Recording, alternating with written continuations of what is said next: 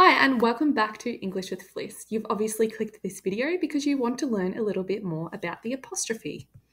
But before we do that, please hit the subscribe button and the little notification bell so you don't miss any of my upcoming videos. And this is a quick little shout out to Lisa LMNS8761, who is a consistent viewer and always leaves a comment down below my videos. Thank you so much for that, Lisa. I appreciate that. If you too would like a mention, let me know in the comments down below and I will be sure to mention you the next time I record a video. So, you will learn in this video how to use apostrophes correctly in your writing. So, what do apostrophes show? Why do we use them? So, they show possession or ownership, they show a contraction, and plurals, so regular and irregular, and we will explore what that means later. So, let's look at um, some examples of apostrophes to show possession. So, those toys are my brother's. So we've used the we've used the word brother apostrophe s, and that shows us that these toys belong to the brother. Okay, they're his. He's the owner. He possesses them. That's my cat's food bowl. Now that's that's our contraction of that is. So we're not focusing on that at the moment. We're looking at cats. So we're saying that the food bowl belongs to my cat. That's my cat's food bowl. The cat owns it, it's theirs. That's mum's car. Who owns the car? Who possesses the car? Mum does. Now, this one, I've written it out twice, and you'll see that um, with James, in the first example, I've written James apostrophe and left it at that. And then in the second example, James apostrophe S. Both ways are correct. So that's James's house. You say it either sentence, that's James's house. This is what we do when we've got a name or a word that finishes in S. So we've got James, Chris, Fliss, so whatever. You decide whether or not you want to follow it with apostrophe S or just the apostrophe. It's up to you. Whichever one you choose to use, be consistent with it. So, what I mean by that is if you're writing a novel, an essay, if you choose to go with the first example there, you follow through with that and you only write in that way. In this case, when a name or word ends with S but needs to show possession, or we need an apostrophe for another reason.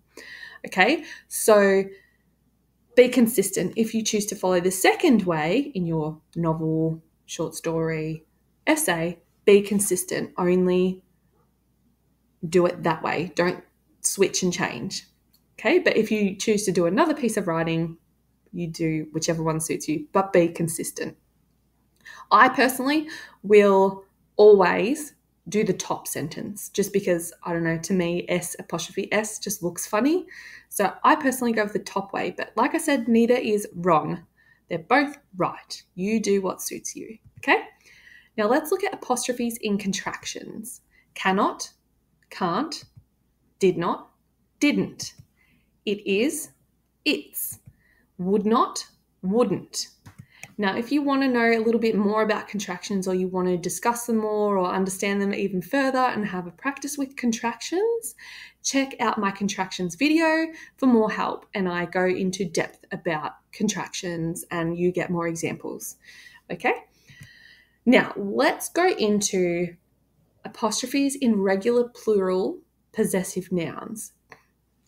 So, a simple explanation of nouns is that they're names of things. So go check out my nouns video for more information on proper nouns, common nouns, and pronouns. I will link that in the top right hand corner for you. Um, that way you can understand that a little bit better. Okay, so let's get into it. The next slide um, is the first slide, but I'll, I'll explain it. it. It better shows the plural possessive nouns. So those toys are my brother's. So we've got a regular possessive here. It's a regular noun, brother, because we change brother to brothers. But those toys are my brother's. So you'd say, those toys are my brother's. It, it's a bit difficult to say, but those toys are my brother's. So this is a regular plural possessive noun that finishes in S. So what I mean by that, see how the plural of brother, if we've got more than one, we would write brothers, B R O T H E R S, and leave it at that. But because it's a possessive noun, we're saying that those toys belong to both of those boys, both of those brothers. The apostrophe then follows to the end of that sentence. So, to the end of that word, sorry. So, those toys are my brothers I'm just I'm looking at this as I've as I'm reading it and I've missed see how I've put quotations marks at the start of the sentence. So I've put a quotation mark and for this sentence to actually be correct, I should have done brothers apostrophe full stop and then another apostrophe to close the quote. So please don't get confused there. So like I said, the plural of brother to show that there's more than one, could be two, three, four, whatever, is brothers. But because this is a possessive plural, we've written brothers followed by an apostrophe to show that more than one brother owns the toys. But the example I've given you here is a regular plural with no possession. So someone said, Those brothers are cute those boys don't own the cuteness. Someone's just made a statement saying that they're cute. Therefore, we just, there's no apostrophe in this word of brothers because we're just highlighting the fact that there are, there, there are two or more brothers and we're just saying they're cute. They don't own the cuteness, if that makes sense. So you would just write that there, regular plural. Now, those toys are my brothers. If you said it like that, those toys are my brother's, you're literally saying that the toys are your brother's. That's why I've got a picture of two cars here saying brother one, brother two. So if you're saying those toys are my brother's, you're literally saying those toys are your human brothers. So that's the importance of using our apostrophe correctly. And here I've shown you it is incorrect. So you would choose, if you're trying to say, those toys are my brother's plural, we'd go with the middle example here. And if it's just one brother who owns the toys, it is the top example. Now, again, apostrophes in regular plural possessive nouns. Those cat, those are my cat's food bowls. Okay, so the bowl the bowls belong to more than one cat. So we've got two cats, and now we're describing that both of those bowls belong to two cats. So those are my cat's food bowls. Again, a regular plural, so more than one cat, we would just write C A T S. And this, this sentence here, those cats are cute. Again, it's just a regular plural we don't need, there's no possession there. So we don't need an apostrophe. We're just simply state, stating that there are two, three, six cats and they're cute. Now, apostrophes, again, sorry, apostrophes in regular plural possessive nouns, that's my parents' car. So in this example, we're referring to both parents. Both parents own this car. So the regular way to say that you've got more than one parent without a possession is parents without the apostrophe there. So P A R E N T S, that's it. But because the parents have ownership or they possess that car, that's my parents' car. They both own it, it's both of theirs. That's why we followed it with an apostrophe. But here's the regular plural. So if someone said, whose car is that? And you're just saying, let's say dad, because we've got a man in the car. Um, if we're just saying it's this person's dad's car, but they instead of saying dad, they said parent, that's my parent's car. They're saying that's the car that belongs to my single parent dad. Okay, that's why we've got the apostrophe there. So if we'll go back, this is referring to both parents Both parents own this car. This is just when only one parent owns the car. Now let's look at irregular plurals. So irregular irregular plurals are when a word doesn't change to when the word changes. So for child, for example, we don't say childs. That's incorrect. We say children. So the word changed. So child is one individual, children is more than one. Woman changes to women. So woman is one, women is more than one. Man is one man. Men refers to more than one. Baby changes to babies. Okay. Tooth changes to teeth. So there are there are more irregular plurals. Um, if you want to research them further, go for it. Have a little Google, see what you can find. But they're just some examples for you so you can understand how the word changes. So tooth, talking about one, but now we want to talk about more than one tooth. So we'll say my teeth. My I have a toothache, or you can say, oh, my teeth ache, because you've got more than one tooth that's bothering you. So let's look at some examples. Apostrophes in irregular plural possessive nouns. So here are the child's toys. We're talking about one child here. Okay, got one child in the image. Here are the child's toys. This one single singular child owns these toys. Then we change it to our irregular. Here are the children's toys more than one child is now pictured. So, children apostrophe S. Here are the children's toys. The man's house is nice. So we've got one man, he owns this house, and we think it's nice. The men's house is nice. So now we've got more than one man, and they both own it. So now we've changed it from man, man's house, to the men's house. More than one. The men's house is nice. Now, other possessive pronouns are his, theirs, hers, and mine. But these already have or show possession in their meaning. Therefore, they don't need apostrophes. So if we said that's his house, we're referring to one person we don't need an apostrophe because it already shows possession in that. That's um, whose jumper is that? Oh, it's hers. It, it belongs to her. It's hers. We don't need a an apostrophe. Now, what I want you to do is to test yourself. I've given you a few different slides to practice. So this is singular possessive. So test yourself and figure out where the apostrophes need to go.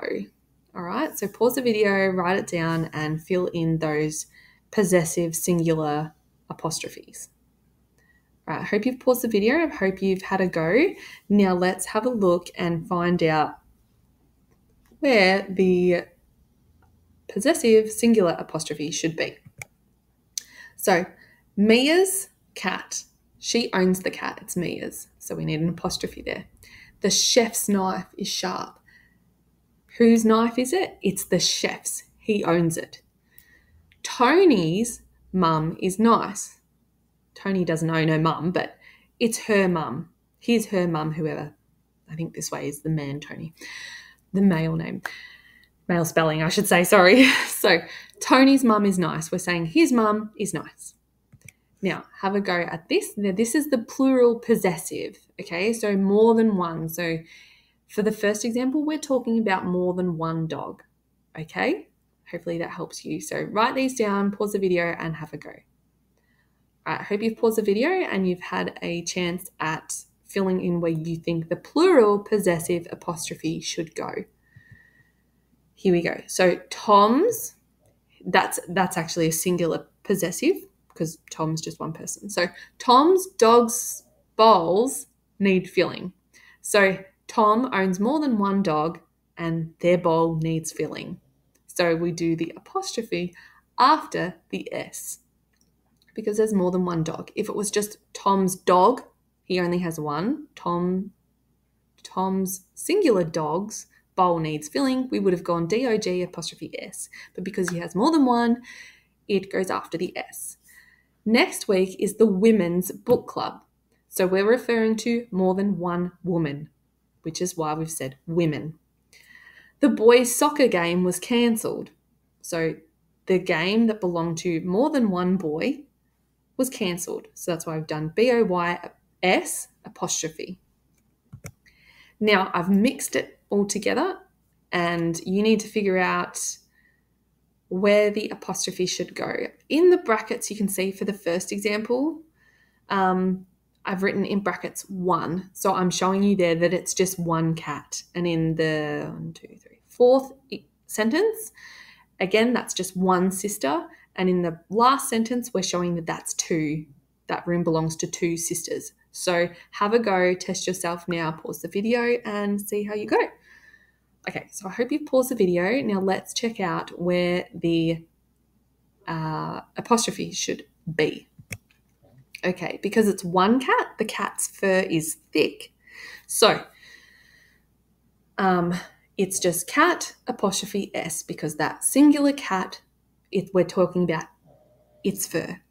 Now, those cats have thick fur. The reason why I didn't um, use uh, brackets to show you how many cats is because I've used the word those.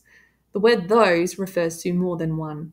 So those cats, talking about multiple cats, that's why the apostrophe goes outside of the S, have thick fur. So we're talking about several cats here, and they all have thick fur. Um, the fisherman's rod broke. We're talking about one fisherman there, and his rod broke. If we were talking about more than one fisherman, it would have changed to the fisherman's rod broke, which would have been Fisher M E N S apostrophe. Okay, but for this, we're talking about one fisherman and his rod broke. My sister's bicycle wheel is flat. So this person had one sister, so it was therefore apostrophe S because she owns the bicycle wheel and it is flat. That room belongs to my sisters. So, two sisters, then we write sisters, plural form, followed by the apostrophe to show possession. Now, again, this is mixed. Pause the video, have a go, and let's see what you come up with. So I hope you've paused the video and had a go at filling in where those apostrophes should be. Let's have a look at the answers. So, my mum's the best cook. This one was a contraction, really. Um, I haven't included many contraction examples because you can go do that in my contraction video.